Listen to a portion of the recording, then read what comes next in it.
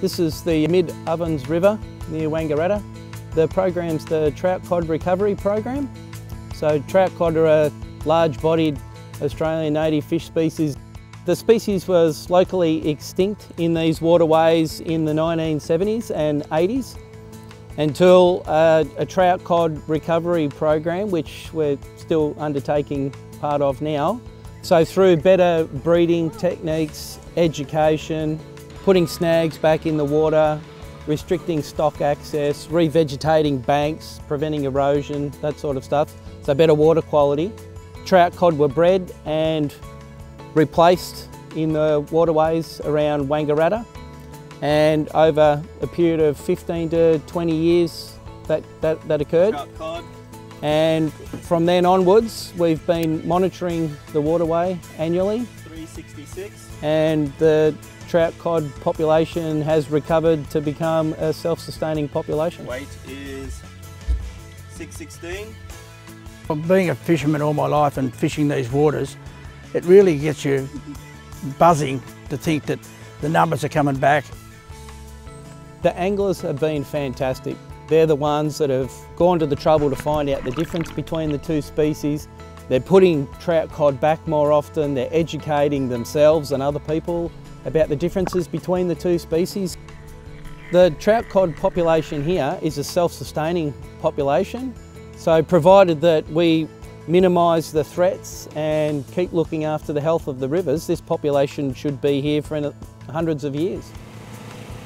So we go through and we have 10 sites that we annually repeat the electrofishing and over the last 10 years the numbers have significantly increased in the reach. I think in the first year, or the first few years, um, there was 30 to 40 throughout the reach that we were collecting and that, that's gone up to about 270, 280 fish now. So it's an excellent success story for the old trout cod. I guess the preference of trout cod for exceedingly fast flowing water gives them their own little niche within um, micro habitats.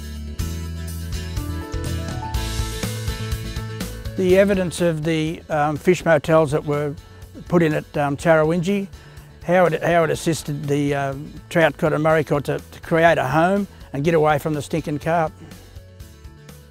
Yeah, the trout cod recovery plan is has been totally reliant on community groups and partnerships between government organisations, land care groups, just interested parties, including anglers, local councils and the community itself.